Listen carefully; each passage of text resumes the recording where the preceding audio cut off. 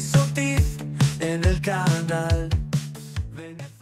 y bienvenidos, queridas amigas y amigos, a Actualidad con Alexis Ortiz en Bienvenidos Venezolanos TV. Hoy vamos a conversar con un venezolano muy provechoso, además, aparte de ser un querido amigo. Se trata de César Pérez Viva.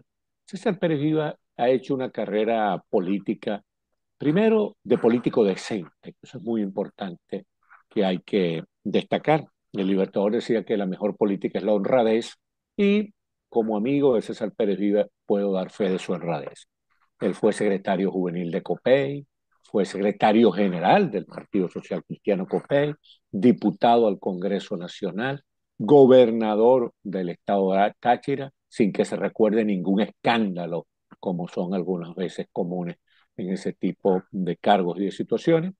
Y hoy César Pérez Vivas, que viene de ser uno de los precandidatos presidenciales en las elecciones primarias, como político serio, razonable, honesto y legalista, reconoció inmediatamente el triunfo de María Corina Machado, lo que no ha hecho, por ejemplo, la narcodictadura castrochavista con el triunfo de Mundo González Gorrotti. Y César Pérez Vivas es hoy en día uno de los voceros principales, más aguerridos de la lucha por el rescate de la democracia venezolana ultrajada por la narcodictadura. Bienvenido, César. Gracias, Alexis. Un placer estar contigo en esta uh, jornada, en este espacio. Saludar a todos tus seguidores en tu programa, eh, en un momento tan duro como el que estamos viviendo aquí en Venezuela, como parte de este proceso de recuperación democrática que tuvo su mayor expresión el día 28 de julio, cuando eh, la sociedad venezolana, de manera abrumadora, por más de 7 millones de votos, eligió a Edmundo González Urrutia como el nuevo presidente y le ordenó a Nicolás Maduro y su camarilla abandonar el poder.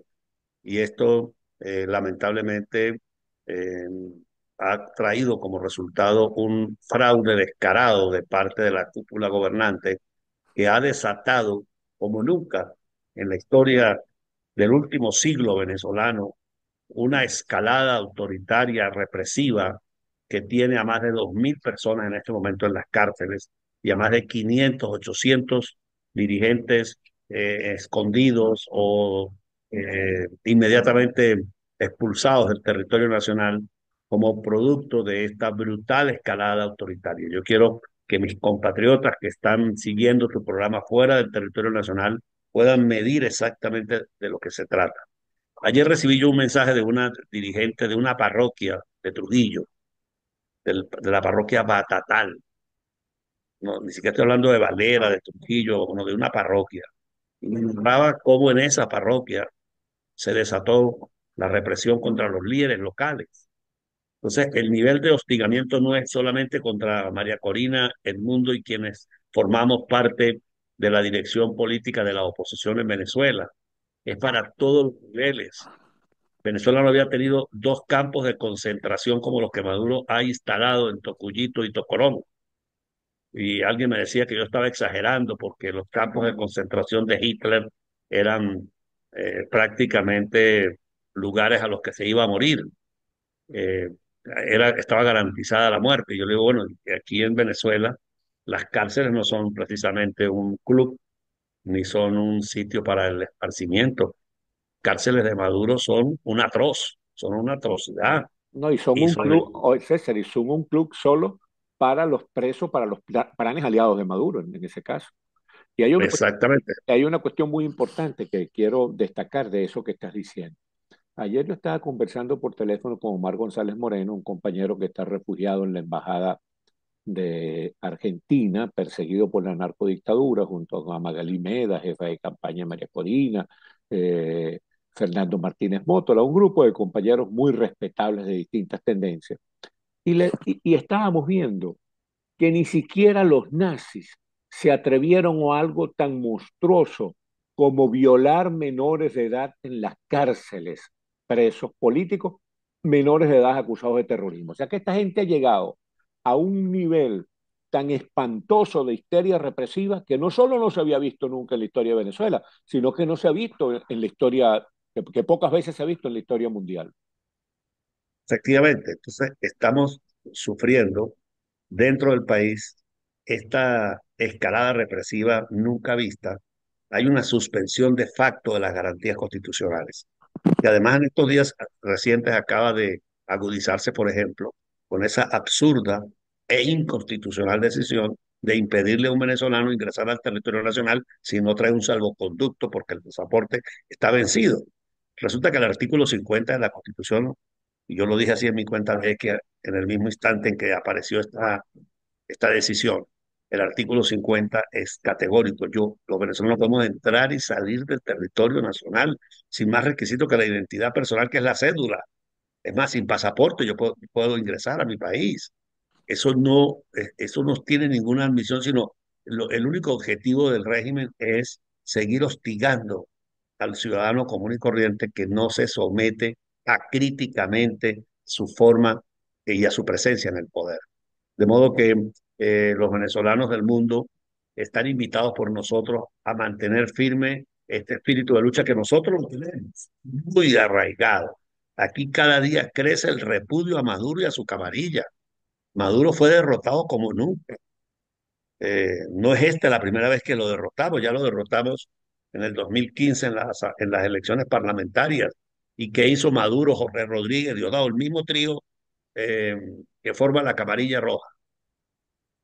Desconocer la voluntad popular expresada en las urnas, anular la Asamblea Nacional elegida, eh, gobernar con una constituyente que se inventaron al margen de la Constitución. Se hicieron desastre y ahora llegaron, digamos, ya al culmen, a la cima de esa conducta con el desconocimiento a la voluntad popular, al voto ciudadano. Ayer Jorge Rodríguez, en un eh, simulacro de diálogo, una simulación a la que está acostumbrado, dijo que ya ellos habían publicado en Gaceta Oficial el resultado electoral. Y entonces él pretende eh, que publicar el resultado es dar unos números eh, que ofreció sacados de un sombrero el señor Elvis Amoroso la madrugada del 29 de, agosto, de julio. Además, y resulta que no. Él, él, dijo ayer que el gobierno, la narcodictadura había presentado los resultados, pero resulta que en el centro Carter, una institución insospechable de inclinación por la oposición democrática venezolana, el Centro Carter, anteayer mismo en la OEA, presentó los verdaderos resultados que demuestran que Maduro perdió por más de tres, o casi 30 puntos. Pero eso está súper demostrado, pero lo grave es que este señor Jorge Rodríguez, investido en su condición de presidente de un parlamento, en la sede del parlamento, despacha a una periodista, por cierto, corresponsal de CNN acá en Venezuela, eh, donde le expresa eh, que ya eso se hizo de la manera más impúdica. Y resulta que no han mostrado las actas que se mostraron en la OEA. El reglamento de la ley de procesos electorales habla claramente de qué son los resultados. Resultados no eran unos números, no.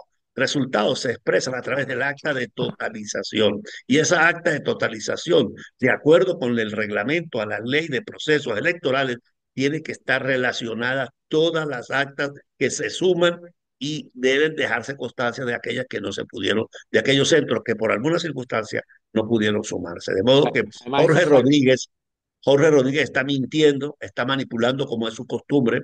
Es un señor en el cual nadie puede tener ninguna confianza ni en ninguno de estos personajes. Por lo tanto, ese diálogo supuesto, ese simulacro de diálogo es una farsa más, es una apuesta más a tratar de borrar el impacto que ha significado haber sido descubierto con las manos en la masa, robándose la elección presidencial del 28 de julio. Nosotros seguimos dando esta lucha, seguimos convocando a la ciudadanía a mantener la resiliencia como un instrumento de acción y de convicción de que tenemos unos usurpadores ejerciendo el, poder público y la comunidad nacional que está ubicada fuera de la geografía física del país está invitada a mantener firme esa denuncia. Eh, alguien dirá, pero es que no, ¿qué hago yo con ir a una manifestación en Madrid, en Bogotá, en Miami, en París o en cualquier ciudad del mundo? Pues sí, es muy importante su presencia. Su presencia es un testimonio de que su espíritu sigue estando al lado de la democracia, que su espíritu es solidario con los venezolanos que estamos adelantando eh, en el terreno eh, esta lucha por el rescate de la democracia. Cada venezolano está invitado a ayudar de la manera que puede ayudar. Una manera de ayudar es estar presente en una manifestación. Una manera de ayudar es eh, difundir en las redes sociales y en los medios de comunicación del universo esta, esta brutal violación de los derechos humanos, esta escalada represiva y este eh, desconocimiento a la voluntad popular que está adelantando Maduro. Otra manera de ayudar es eh, ser solidario con quienes aquí están en las cárceles. Tenemos 2.000 venezolanos en las cárceles. Y, y te quiero decir que esto, además de lo que significa privar de libertad a una persona, tiene un impacto socioeconómico en la familia. Hay gente que ha tenido que llegar, por ejemplo, para estar cerca de Tocuyito, a Valencia, un barrio de Valencia, en el sur de Valencia, alquilar una habitación para una madre de Trujillo o de San Cristóbal o del Zulia o de Paturín para poder ir a ver cuando de lejos dejan ver a los presos, que lamentablemente otra de las grandes eh, aberraciones en las que incurre esta gente es impedirle el acceso a la familia, a los presos, impedirle el, el derecho a la defensa, no se les permite defensa privada. El Estado los priva de libertad arbitrariamente, les imputa delitos que no han cometido, les impone un defensor que no los defiende y les pone un juez que hace la, que cumple las órdenes que le dan desde el Ministerio del Interior el señor Diosdado Cabello. Si estamos frente a una de las dictaduras más brutales que haya conocido América en el siglo XXI. Ahora fíjate tú, César, también es importante señalar eh, que hay otras maneras, aparte de las muy atinadas que tú has mencionado. Por ejemplo, es darle, prestarle algún tipo de ayuda humanitaria a la cantidad, los millones de venezolanos que están pasando hambre en Venezuela, prestarle algún tipo de ayuda material a los compañeros nuestros que están luchando allá, pues, eh, arriesgando el pellejo, arriesgando la vida todos los días. Esas son cosas que hay que cumplir. Pero me gustaría, César, porque es bueno para el registro histórico, no porque haya espíritu revanchista, porque eso es muy ajeno a nuestra manera de ver las cosas. Tú, y yo somos católicos y no, eh, si algo rechazamos es el espíritu revanchista. Pero es bueno que le informes aquí, si tienes esa información, quiénes se han prestado, quiénes son los nombres de los que se han prestado a esa simulación de diálogo que convoca la narcodictadura, porque el mismo diga que convoca un diálogo, manda a poner preso al alcalde de Maracay y otro montón de gente presa. ¿quiénes fueron los que se prestaron ese supuesto diálogo? Los mismos personajes de siempre, los mismos agentes que sirven a la simulación del pluralismo, el modelo alemán, lo llamo yo, de Honecker. Entonces, de la Alemania comunista. Sí. De la Alemania comunista, por supuesto. Estoy hablando de la Alemania comunista y es bueno precisar esto porque ellos se llamaban República Democrática de Alemania y era una dictadura atroz. Así se llama Maduro, que ellos tienen una democracia bolivariana, eh, participativa y protagónica. Mentiras. Esto es una dictadura que obliga a ciertos factores a estar allí. Entonces los nombran representantes de los partidos. Se robaron la representación legal de todos los partidos democráticos de este país. Además de eso, este, simulan decir que son opositores, pero en el fondo defienden todas las políticas atroces de destrucción material, institucional, moral que tiene eh, la cúpula roja en el seno de la sociedad venezolana. la lista no vale la pena que yo me dedique a, nombrar personas aquí. Bueno, yo, yo, me, yo, me, dedicaré, yo me dedicaré por mi cuenta. No, pero es que no tiene sino que agarrar los medios de comunicación de ayer, los portales y ver todos los que estaban ahí sentados. Claro. Sí, sí, sí, sí. Bueno, uno sabe, Bernabé Gutiérrez, que le regalaron Acción Democrática, José Gregorio Correa, ese, e, e, ese grupo, pero es bueno que la gente lo sepa, porque es que están haciendo un daño terrible tratando de avalar una narcodictadura tan abominable como la que tenemos en Venezuela. ¿Y cuál es el próximo paso nuestro dentro de Venezuela, César? Nosotros estamos desarrollando una acción política en primer lugar es decir, de denuncia de la, del fraude, de denuncia de la violación de derechos humanos. Estamos ejerciendo los recursos que la legislación nos permite.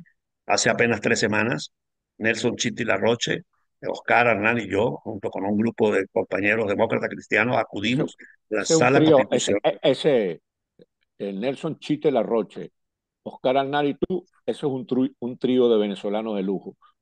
Bueno, nosotros los tres fuimos al Tribunal Supremo asistidos por el doctor Carlos Daniel Moreno, otro demócrata cristiano de alta valía, y presentamos en nombre de la democracia cristiana venezolana, a través del movimiento de concertación ciudadana, un recurso, un escrito que se llama Acción de Revisión de Sentencia de la Sala Electoral. Por cierto, también la semana siguiente hubo otro escrito presentado por el ex candidato Enrique Márquez, acompañado por sectores del chavismo disidente, que me pareció muy importante a mí también que estos sectores que provienen precisamente de, del MBR, del PSV, hayan dado ese testimonio. O sea, nosotros estamos tratando de abrir un cauce a una solución jurídica y política a la cúpula roja. Pero, ¿cuál es el próximo paso? Bueno, el próximo paso es aplicar el artículo 31 de la Constitución. ¿Y qué dice el artículo 31? Que cuando dentro del país se nos cierren las puertas, cuando dentro del país no haya protección a los derechos humanos, nosotros, los ciudadanos, tenemos el derecho y el deber de acudir al sistema internacional de protección de derechos humanos. Los voceros de la dictadura, Maduro, Jorge Rodríguez, Escarrá, entre otros, han dicho que esa, bueno, padrino ni hablar. Padrino lo, llamamos, padrino lo llamamos el criminal en jefe, porque es una vergüenza que tenga el título de general en jefe, que era el mismo de Sucre, de Bolívar, de Urdaneta. Eso Bueno, pero ¿qué es lo que quiero poner de relieve? Que ellos dicen que, se, que sacaron a Venezuela del sistema interamericano. Pero resulta están por mandato de la Constitución obligados a acatar el sistema interamericano, porque eso forma parte de la progresividad de los derechos humanos. Y la única manera que ellos pueden, legalmente hablando, desacatar un mandato del sistema interamericano, es decir, de la Comisión Interamericana de, de Derechos Humanos, es reformando la Constitución y, y eliminando esa normativa contenida allí según la cual nosotros los ciudadanos podemos acudir al sistema interamericano. Bueno, nosotros lo vamos a hacer si en un tiempo prudencial la sala constitucional, como ha sido su costumbre frente a muchos casos que le hemos planteado, no da respuesta, el próximo paso que nosotros tenemos planteado desarrollar es acudir a los órganos de protección de los derechos humanos a los cuales se refiere el artículo 31 de la Constitución de la República Bolivariana de Venezuela. Es decir, nuestra lucha, los venezolanos que estamos en el campo político, nuestra lucha está enmarcada en la Constitución. Estamos luchando para que se respete las normas de la Constitución que han sido violentadas por Maduro y por todos los titulares de los poderes públicos, porque aquí ha habido una confabulación de las cabezas de los poderes públicos. Aquí ha actuado de esa manera nada más y nada menos que el presidente de la Asamblea, que es el principal operador, el principal eh, personaje. A ese, a ese, al presidente de la Asamblea, Jorge Rodríguez, lo llamamos el caparratones porque se presta para todas las maniobras pequeñas. Bueno, y además tiene el cinismo de mentir, como mintió ayer en, ese, en, esa rueda de prensa que hizo allá en el Palacio Federal Legislativo. Luego tienes a la presidenta del Tribunal Supremo de Justicia, que es la presidenta de la sala electoral, que se prestó para dictar una sentencia aberrante, contraria a todo orden jurídico, lo que llamamos el orden público constitucional. Luego tienes al, al, poder ciudadano en la cabeza del fiscal general de la República que no garantiza los derechos humanos y que se ha convertido en un ejecutor de la política represiva. Luego tienes al poder electoral que es el responsable de hacer la elección violentando todos los principios de la Constitución de transparencia, de imparcialidad, violentando la ley orgánica de procesos electorales que lo obliga, lo obliga a permitir los testigos de la oposición, que lo obliga a publicar todas y cada una de las actas, que lo obliga a totalizar con la presencia de los testigos de la oposición cada una de las actas, hacer las auditorías. Nada de esto se ha hecho. Simplemente salieron en la madrugada el 29 y dijo que no, Maduro por tantos votos y aquí no nadie más ha podido entrar. Nuestros testigos el 28 de julio no pudieron ingresar a la sede del Consejo Nacional Electoral. Ya eso revela la aviesa intención del fraude.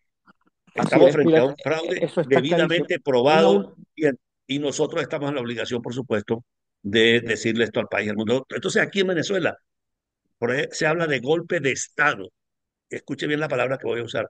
Aquí lo que hay es un golpe del Estado, es decir, del Poder Ejecutivo, Legislativo, contra el pueblo. contra la ciudadanía, contra la soberanía popular. Ahora, fíjate tú, para, para cerrar este programa, mi querido hermano César Pérez Viva, líder social cristiano venezolano.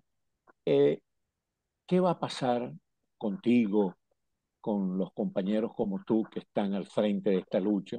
¿Qué va a pasar con la líder legítima del pueblo venezolano, que es María Corina Machado, que tiene que estar en la clandestinidad en este momento? ¿Qué va a pasar con ustedes? Bueno, nadie tiene una bola de cristal para adivinar, pero primero que todo yo le pido a Dios todos los días por la vida de todos, por la salud. Eh, estamos obviamente reducidos en nuestra capacidad operativa eh, y es gradual. María Corina tiene obviamente un cerco que no le permite casi ni salir a, a, la iglesia a una misa, mucho menos ir a un evento político.